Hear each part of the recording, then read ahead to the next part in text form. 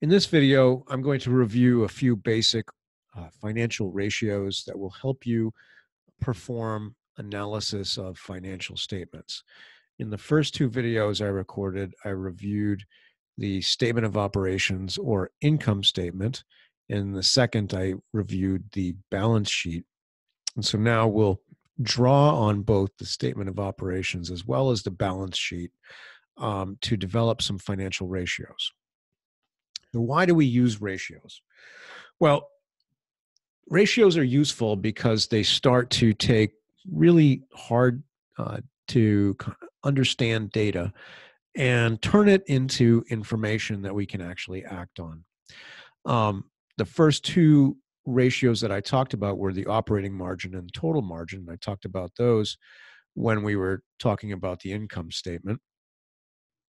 Um, but there are other useful uh, ratios here that will help you as a leader and a manager to understand what is going on in your organization as well as it will this these ratios are used by um, finance uh, uh, financing um, you know people who are providing you financing i should say um, such as bankers lenders um, and then your board members are going to know these uh, ratios and they're going to be interested in understanding uh, how they're how they're impacting your organization.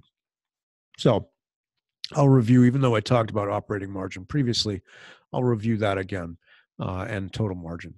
So operating margin captures the so I've included the formula over here. So operating margin is calculated by dividing operating income by operating revenue. So we go back to the statement of operations. Operating revenue is, um, or rather, operating income divided by operating revenue. So operating income is our income from operations. Um, and so in this organization in 2017, they had a relatively low income from operations. They had a much better one in 2016. But regardless, you take the income from operations and you divide it by the total revenues and other support or the operating revenue, as I refer to it. That gives you a ratio of, you know, how much, uh, how good was the organization at converting revenue into income. Um, now, I like the operating margin number. Uh, you know, that's probably the one that I look at you know, uh, first relative to the profit margin or total margin because i'm interested i'm interested in both but i'm interested uh, in the operating margin because it tells me how well the core business is doing. Uh, this year this this organization the core business did not return very much income uh, and you know probably good reasons why why expenses were up relative to uh, revenues but it would be concerning to me to see a significant drop off uh, in operating margin from 3.2 in this case to 0.05. So, what we want to do, as I mentioned uh, in, in the previous videos, is I want to compare myself to myself over time. And so I'm going to compare my operating margin in 17 to my operating margin in 16 and say, okay, is it getting bigger? In which case, bigger is better for operating margin. I want a bigger uh, operating margin. Uh, it's not. Um, and then I want to compare myself to others. So I have here an industry standard, uh, courtesy of the Gapenski Healthcare Finance textbook. Uh, says, you know, okay, so the industry average is 3.5. Well, how how is our organization doing relative to the industry? Well, our organization had 3.2, and then you know half uh, or five five hundredths of a percent. So not so great. Um, so this is a good measure. Operating operating margin is a good measure of how well the core business is doing. Total margin um, is calculated. It's a little more complicated, but it's calculated by, or it's also known as excess margin or profit margin. Um, total margin is calculated by taking the net income or excess of revenues over expenses and dividing it by the total revenues and other support, which is the same as we did for operating margin, plus non-operating gains and losses. So the so the denominator in this case is a little bigger because we're including two things in it. We're including this, the op, uh, operating revenue. Um, oops, sorry, not not the expenses, the operating revenue. Um, we're including the operating revenue as well as non-operating gains, and then we're dividing uh, it by uh, dividing our uh, net income or our excess of revenues over expenses into those that that combined denominator. Now, total margin gives us kind of the the health of the overall organization, including the gains and losses that are not part of the core business of the organization.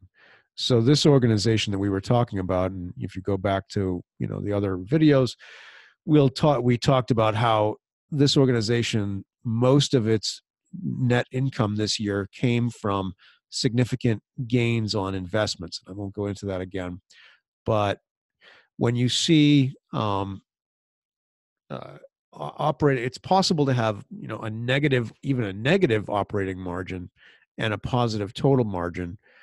If if you see something like that, you know uh, that the organization is basically sustaining itself, uh, not on its on its core business, but off of its investments.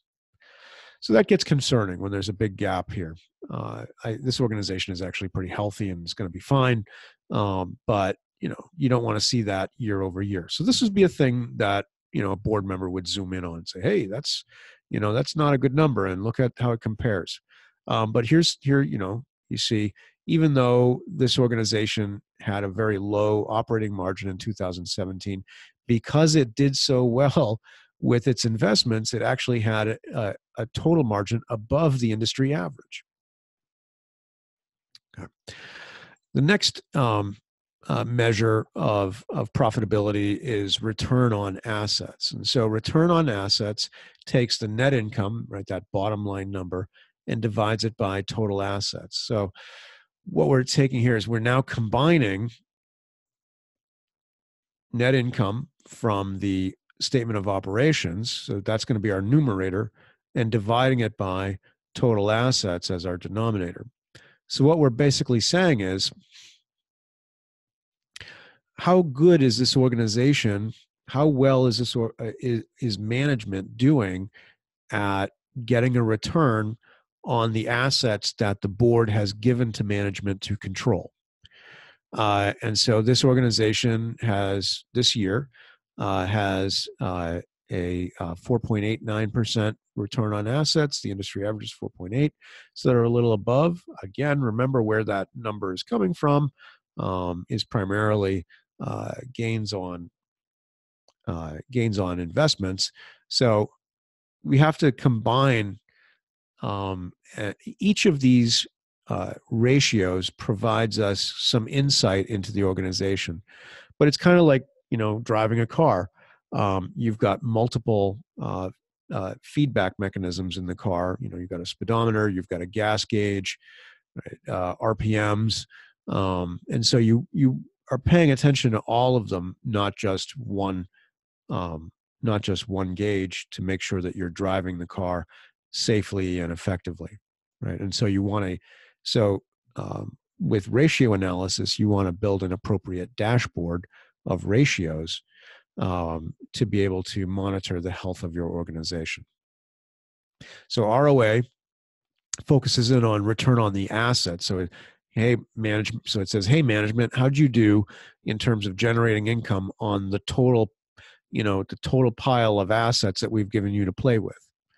Return on equity strips out the portion of uh, of your assets uh, that um, uh, are funded by uh, liabilities and only focuses in on how much return did you get relative to your net assets or or if you're for profit it would be equity so for an equity company this would be um, uh, net income divided by uh, the equity portion. So we're going again, going here to statement of operations. We're taking our uh, excess of revenues over expenses, and then we're dividing it not by total assets, but just by the net assets or the equity value.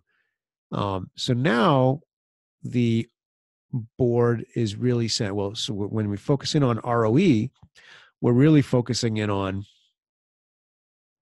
um, uh, uh, how much net income is management bringing in relative to the amount of equity that's invested in the company.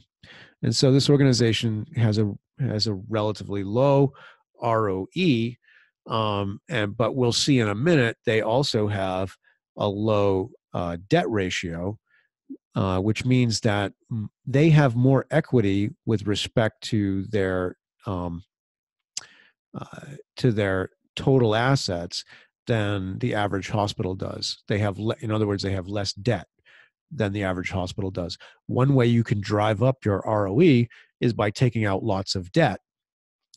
But as you know, any sane adult recognizes, the more um, more debt you carry, the more kind of financial risk you you also carry, right? Because at the end of every month, your your um, the people who have loaned you their loaned you money expect to be paid uh, their interest and you know and maybe even some of the principal back.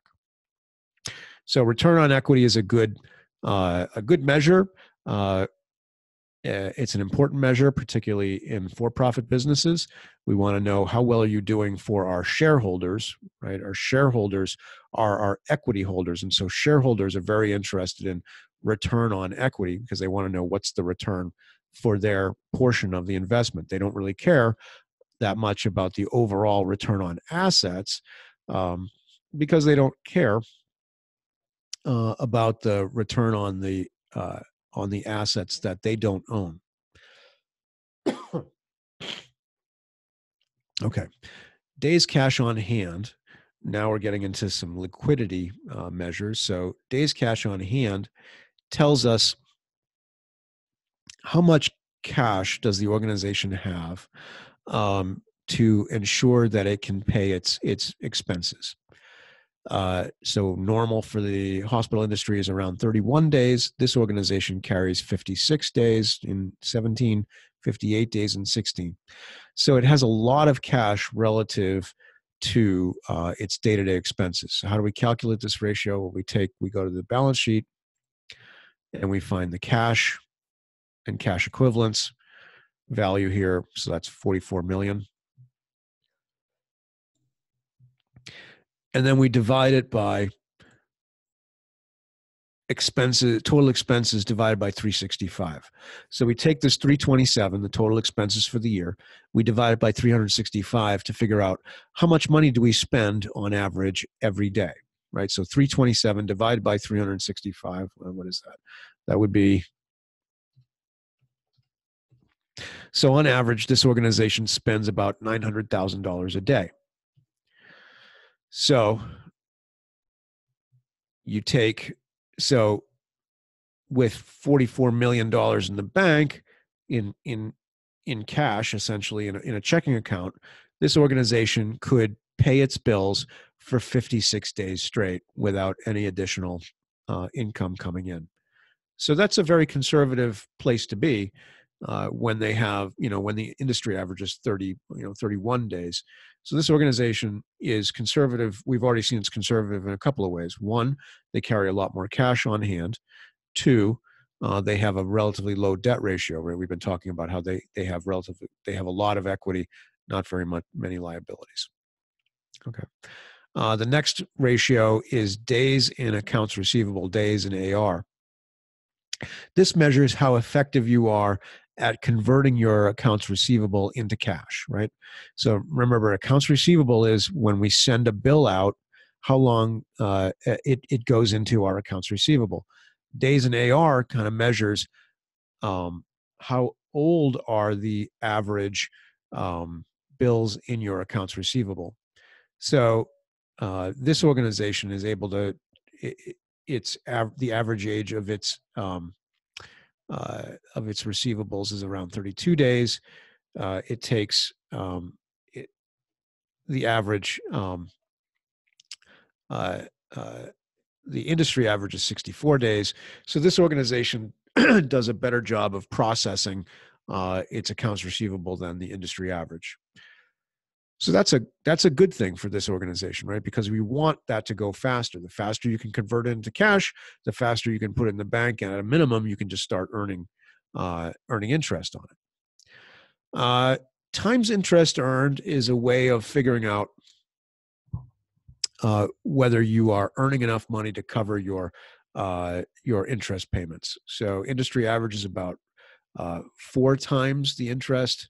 Um, so so what this is saying is, all right, I get um, uh, we have earnings, right? We have we have um, uh, we have net income um, and uh, or income from our operations. Uh, net income. Uh, well, it depends on. There's two ways to calculate it, so I'm, I'm getting a little kind of twisted up here. Um, uh, there's two ways to calculate this. The first, but they both basically involve uh, saying we're getting some amount of income into our organization, and then we're going to divide it by the the interest payments that we have to make. So this organization, so it's normal to have about four times as much income as you are paying in interest. This organization has, you know, uh, depending on how you calculate it, somewhere between uh, 13 and 20 uh, times that number, except for uh, here in um, uh, uh, in 2017 for this particular way of calculating it. Um, the two ways of calculating it, one way to calculate, so you're you're calculating e, what's called EBIT, or earnings before interest and taxes, um, and that eh, and and there's two ways to calculate that. You can either calculate EBIT by going back to your net income uh, here. So this is my net income, and then I have I start with 19 million, and then I add back um, my interest um, and uh, taxes, which we don't have, um, uh, or I can start with my operating expenses. Um,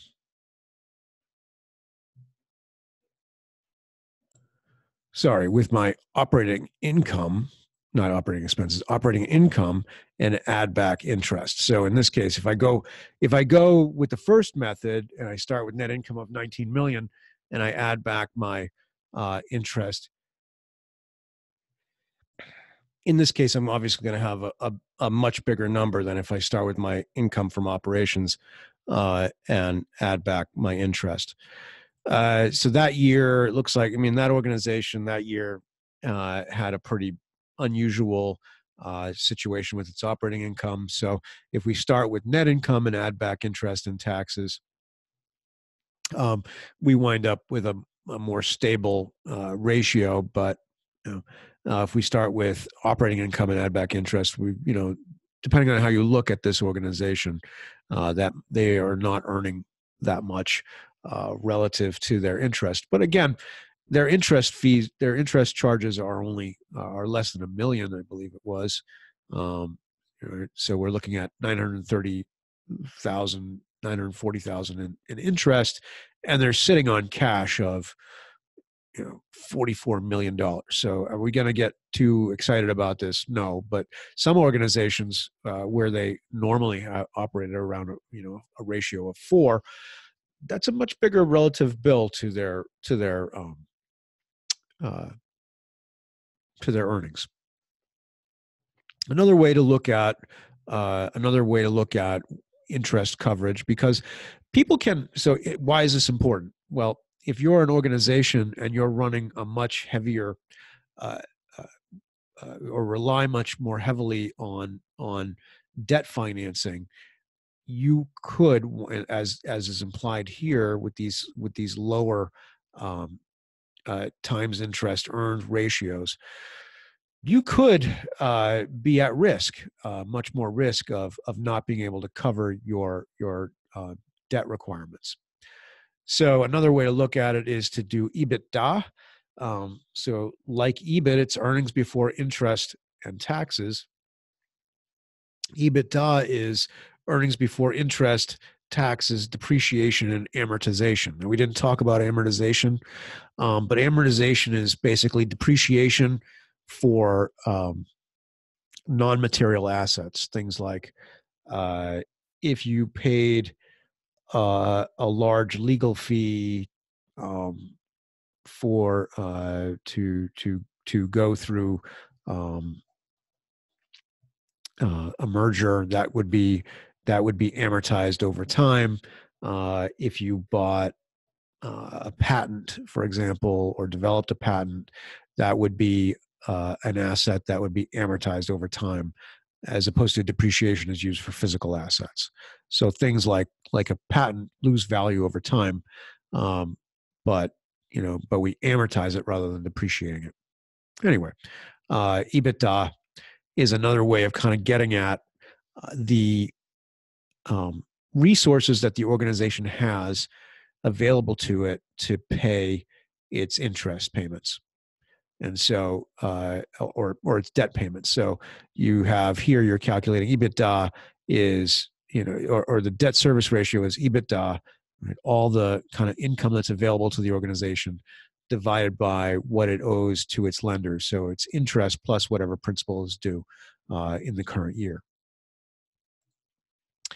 um, current ratio is a common ratio and it's a simple one to calculate. What you take is your current assets and divide them by your current liabilities. And so uh, bigger is better here because if you have more current assets, uh, uh, relative to your current liabilities, you're going to be able to pay them off. You know, you're going to be more certain to be able to pay them off. So we can flip back here to uh, the balance sheet, and remember we talked about current assets. So this organization has 95 million in current assets, and then it has 37 million in current liabilities. So you, to get the current ratio, you simply divide 95 by 37, and that gives you the 2.53 that we talked about. Now, I mentioned earlier uh, above when I was talking about ROA, uh, ROA and ROE, the debt ratio. And so this is the amount of debt that we have relative to our total assets. So going back to our the house analogy we were using uh, when we were talking about the balance sheet, if I have a five hundred thousand dollar house and a four hundred thousand dollar mortgage, then my debt ratio is four hundred thousand divided by five hundred thousand, or eighty percent. Um, this organization carries a debt ratio. Uh, so you take total liabilities divided by total assets. So we go back here.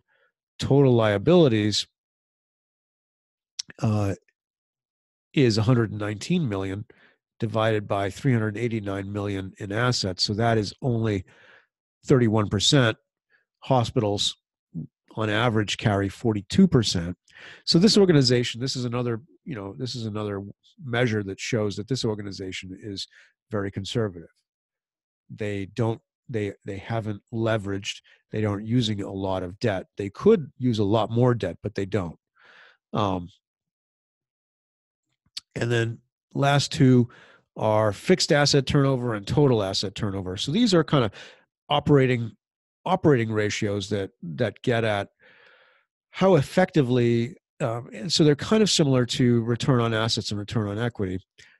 These get to how effectively is the organization using its assets. So fixed asset turnover looks at operating revenue divided by property plant and equipment so I look at all right, how much how much did I bring into the organization from my core operations? You know, how much revenue did I bring in to my organization from my core operations with respect to the to the physical property that I own. So that's our fixed asset turnover.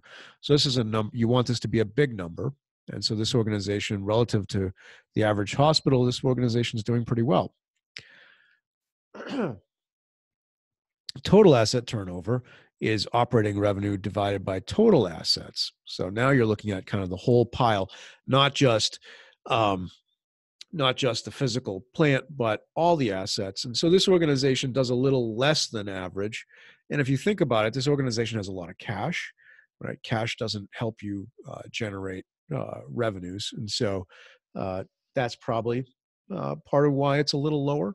Uh, and again, it's a it's a more conservative. You know, we've we've kind of identified it's a little more of a conservative organization. So these are some of the common ratios that are used. Uh, you could have um, in you, you know, so some of the ways they're used.